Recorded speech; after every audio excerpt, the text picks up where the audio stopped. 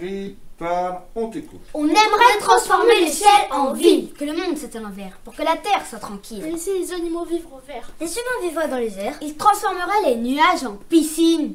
Et, et les- et ils se laveraient dans leurs bassines. Plus de verre dans les airs, plus de vie en poésie. Plus de verre dans les airs, plus de vie en poésie. Les humains flotteraient au-dessus de la terre.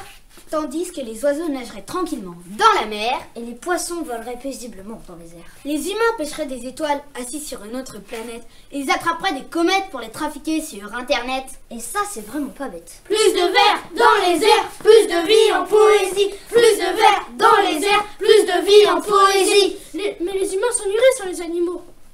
Sans les animaux, le monde est moins beau. Il faudrait de nouvelles créatures qui partageraient leurs aventures. Au musée des rêves impossibles, tous les animaux sortiraient de leur tableau. Il y aurait des centaures qui réveillent les morts. Et qui n'ont jamais tort. Il y aurait des chimères qui exauceraient les rêves, mangeraient notre cauchemar et rangeraient notre bazar. Et si seulement ça pouvait être vrai Plus de verre dans les airs, plus de vie en poésie. Plus de verre dans les airs, plus de vie en poésie. Les humains jetteraient leurs déchets par-dessus les nuages. Par-dessus le soleil, Des déchets qui deviendraient Des maisons pour les pitons. il y aurait moins de pollution. Et on mangerait de l'imagination. Moins d'humains sur la terre, moins de verre dans la.